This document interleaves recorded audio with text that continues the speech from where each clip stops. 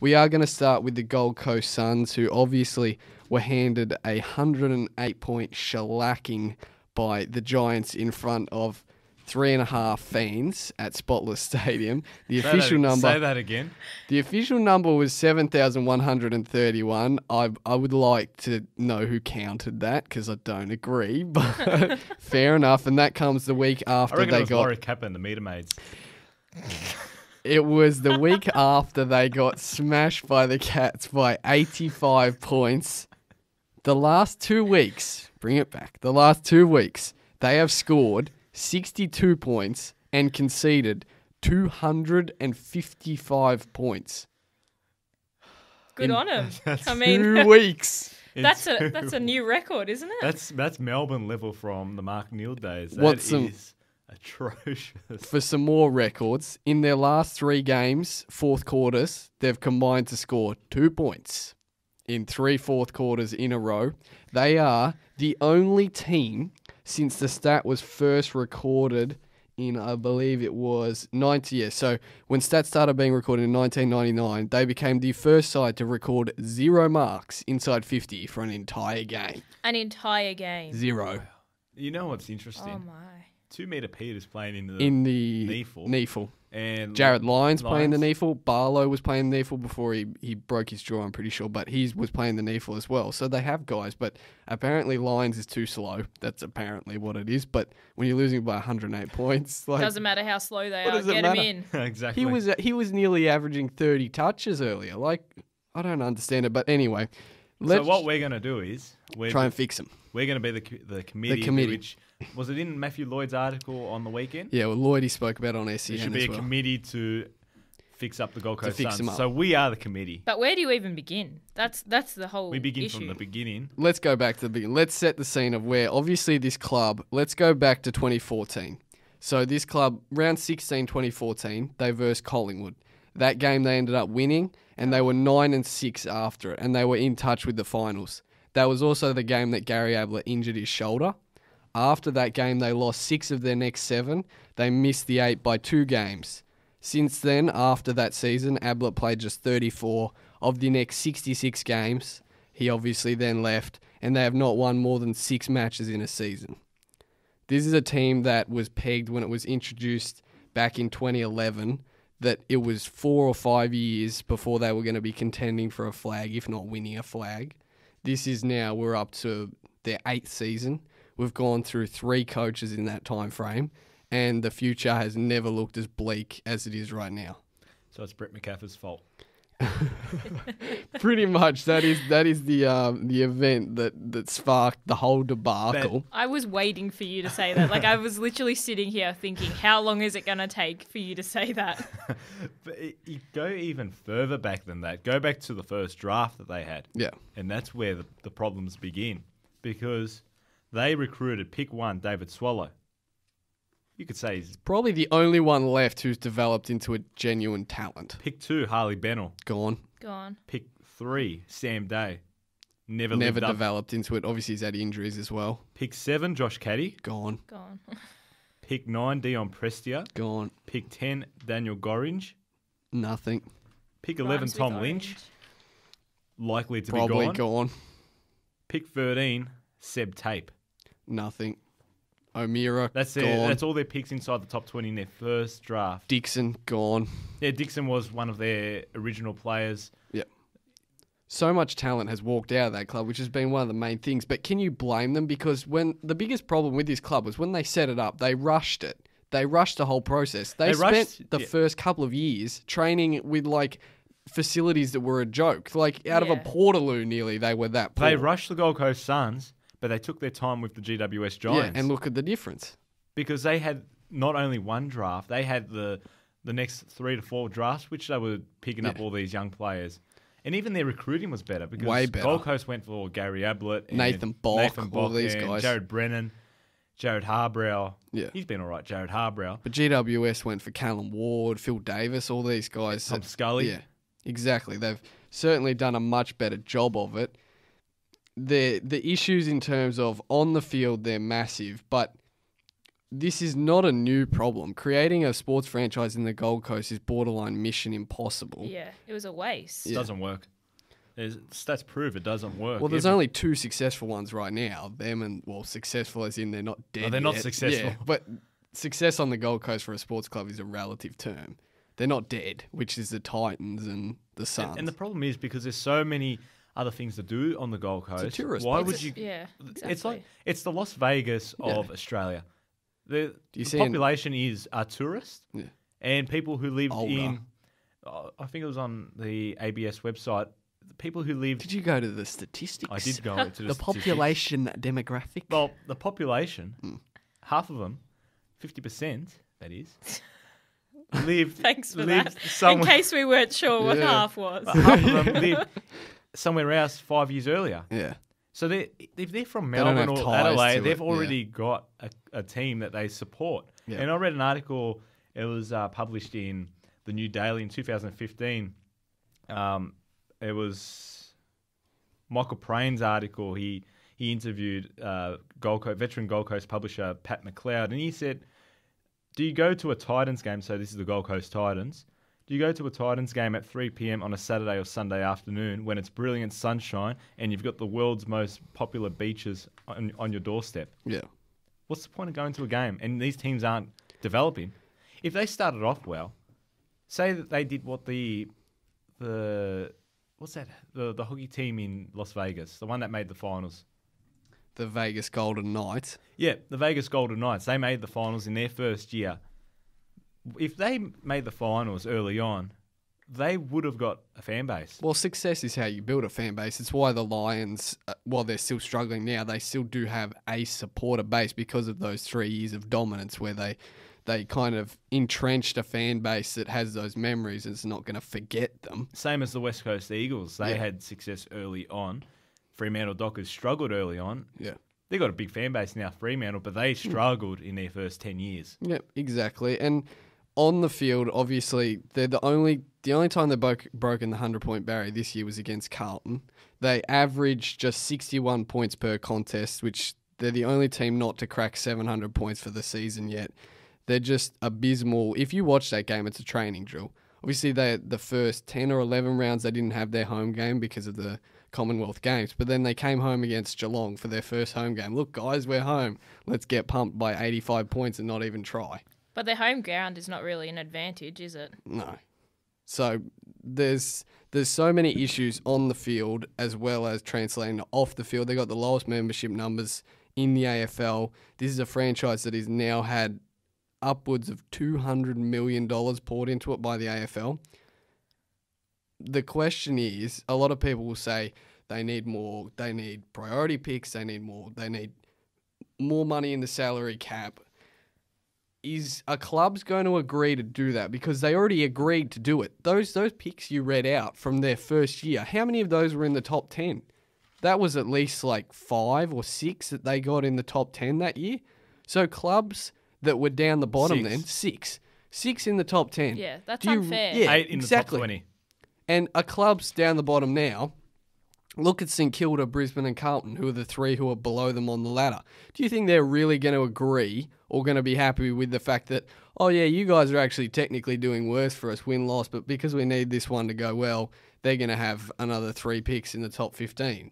Uh, If I was one of those fans or part of the, the clubs that are lower than them or struggling, I'd be filthy at Well, that. I, I'd be pretty filthy too. But you also have to think about the why so many players have left.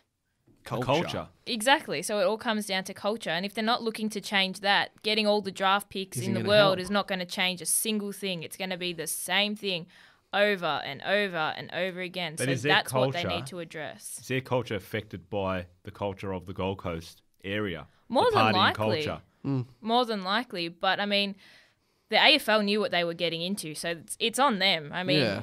it's no surprise what the Gold Coast brings. And like we like you guys said, it's not a sporting capital as seen.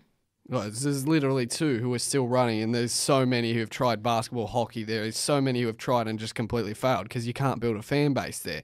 And the thing that's so no- annoying about it is that they carry on. Tasmania has been crying out for a team for so long, and they carry on saying that this is not a sustainable model. There's never going to be financial. They're never going to come out uh, in the green financially. This team wouldn't work. Can you please tell me how Gold Coast is coming out on the green? They poured $200 million into that franchise, and they get 10,000 people showing up for every game, and nobody gives a stuff. because the Gold Coast population is going to grow in 20 years' time. Right now, it's sitting just over 500,000. In 20 years' time, it's going to be This over guy- 800,000. Did you get that from the ABS? Yes, I did get that from the ABS. It's growing to 820,000 Yeah, but if in none of them time. care about it, who cares? Well, if they grow up with the Gold Coast Suns, they're going to start supporting the Gold Coast Suns. But didn't you say that no one stays there for longer than, or like people that No, have but kids moved that are born in in the Gold Coast on the Gold Coast will support the Gold Coast So Suns. you reckon in 20 years they may have a supporter base? If they have success in that 20 years, The Yeah. AFL can't yes. wait 20 AFL years. AFL won't be. Oh, they have to. It's the only. Well, what way. else can they They were told when they were making these um, franchises that they would have to wait 30 years to see the fruition of it. Yeah. Well, that's the thing. It's the They, waiting they're game, not going to go to Tasmania. There's no chance. They should go to Tasmania. yeah, but they're not going Morally, to they because should be the going to Tasmania because Tasmania is such a footy obsessed state. obsessed state. But they won't because But the AFL won't admit they're wrong either.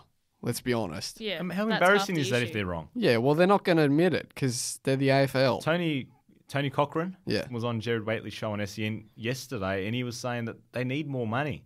They do have the money; they've used the money, but they need more to develop their Yeah. their funding. They need they need money for their academy. They had to close some of their academy down because they don't have enough money to fund it. I think that is the, the go to option. Not the picks because I think that's unfair, but more allowances in their player development But- and their coach development salaries. He said that he has some ideas of how to improve the teams that are on the bottom in the A- in Victoria as well, including Carlton and St Kilda, because he said that you don't want the you don't want the sport to be like the Premier League and No. you have the same five teams Exactly. fighting for the title. So, so How? What was his suggestions? he didn't say. Oh, he well, said that's that they're, ideas. Thanks for that. He said that he doesn't have two hours Yeah, yeah, to yeah. discuss Well, fair it, enough. but there's some ideas there to help those teams that are lower on the ladder as well. one of the ideas, whether you like it or not, your opinion, the idea that after the first round of picks, teams that have been out of the finals for a set amount of years, let's say it's five years, three years, whatever they make their cutoff, get an extra pick at the end of the first round. So, say if you finish last and you have been out of the finals for six years, so you're over the over the limit. You would get the first pick, you'd then get the 19th pick, and then your second round pick. So it'd be two or three teams who get like the 19th, 20, and the 21. It means they can use it to move it for an experienced player like a Jarryd Lyons. Yeah, but even something if they like get these picks, then it doesn't mean they're No, I going know, to but- be successful. What I would do would be stop free agents from going to teams in the top eight. How do you do that? but that's not fair on the It's players. not free agency anymore. But that's how they do it in the NFL. But it's not the NFL. but we wanna you've be the opened, NFL. You've opened the can of worms with free agency. You mm. can't then go. You can go to Well, that is it one, right that that one, the- and that one, but Is you it can't right go that to the that one. players from the teams in the bottom half of the table always go to the teams in the top half? Well, the thing is, they want success. Every AFL Yeah. player wants well, they success. can get success if they go to one of those teams in the lower half. But they're not going to get More it than one- immediately. more it than one depends how old they are as well. More than one player goes to one of those teams. Uh, tell me this then: If Tom Lynch is thinking about moving back to Victoria, is he going to pick for his success wise? Let's just say these are complete hypotheticals. One of them is interested. I don't know about the other one, but is if he would pick between Richmond or St Kilda, why would he pick St Kilda? If St One Kilda reason. told him their plans of recruiting other players, What difference is it going to make if that it's you can't like? There's no way he's going to pick Well, St Kilda. Do you think LeBron James would have gone to the Miami Heat if, if the other players weren't going yeah, there, but like Chris Bosh? consi- that's diff- there's five people on the court. There's 18 for AFL. It's a North big Melbourne difference. recruited players in the 70s by doing that. When the free agency, the first time there was free agency, when players could leave after Yeah. 10 years. Well, if they, recruited could get a players combination, but those teams generally teams can't. St Kilda finished could. last. St Kilda couldn't even get. They couldn't get Dusty. They couldn't Well, get if you Kelly. shut down free agency to the teams in the top eight, then you, they will be getting those players. But then people won't want to leave. Like, is that what Well, you're that's how it should be, because free they agency- should just stay to their stay with their club and not be able to Free to agency net right transition now, throughout there is clubs. too much power to the players. That's why it's called free, though. But that's why these Gold Coast, the Gold Coast Suns are struggling because the players are leaving. If they could keep hold of the players, Think about it though. Just think about it. Tom Lynch right now can't leave. He's still there. If you watch his game on the weekend, he couldn't care less. He does there was not want to be did, there. doesn't want to be there, him and he's not two men playing. Peter black back in. So If if you drop Peter him wants then, play and then there. he falls out of the league, then the league loses and the club loses. So nobody wins. But he's Exactly. well, that's his fault, isn't it? If he doesn't yeah, but want to that play for the doesn't Gold help Coast the Suns, club, does he? If a, if a player doesn't want to play there and they've got their mind made up, right? Then they're not going to be a plus for that team. It's better to try and move them. yeah, Use them free as agency. currency. So it doesn't matter if they drop him. But if they're they still gonna get match the Tom same Lynch, then they're going to have to. Then they'll get a trade out of it. So there's still I wouldn't play him then. If he doesn't want to play there, you put Peter right in. two meter Peters the answer. He wants to stay there. He Yeah, signed a new contract. Yep. It's a very contentious one, as you can tell. It's a bit but- no, it's good. It's good debate. And the thing is that it comes down to how much they are giving this club, while other clubs that are struggling are kind of having to fend for themselves because they've got a set up supporter base. And this is a club that the AFL needs to succeed. Which other clubs are struggling? Carlton, yeah, I was gonna Brisbane, St. Kilda. But you look at Carlton though, and there's not that like people are saying like there's a lot more hope with Carlton. Yeah, well, the you thing can with- see more there's no- prospect. Carlton are struggling. Is Carlton's struggles is their own fault. Yeah, yeah. Well, they don't not deserve denying any help. But so They is need Gold Coast. work it out. But so is Gold, Gold Coast, is co- is all culture related. The- Half their players don't want to be there. Do you blame them?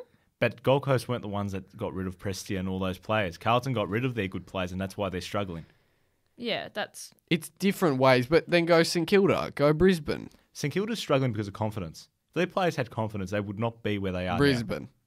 Brisbane are on the on the rise. So Yeah. you can't say they're struggling right now. They're on the rise. They've been They're struggling. still struggling. They're They've still- got one win. yeah. I Yeah, wouldn't that's say that. struggling. But they're on the rise. We see hope there. They're not a team in five. We we don't see a future for them in five years' time. We don't see a future for the Gold Coast Suns in five years' time.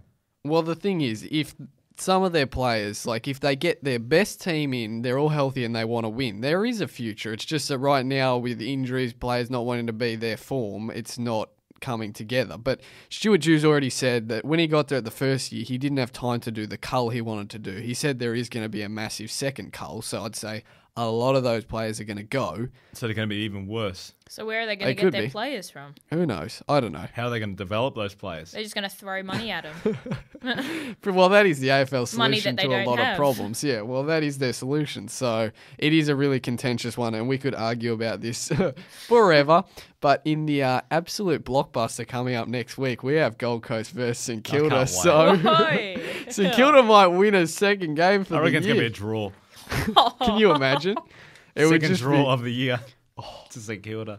So if St Kilda play anything like last week, they'll have no chance. That was laughable. So we'll have to wait and see.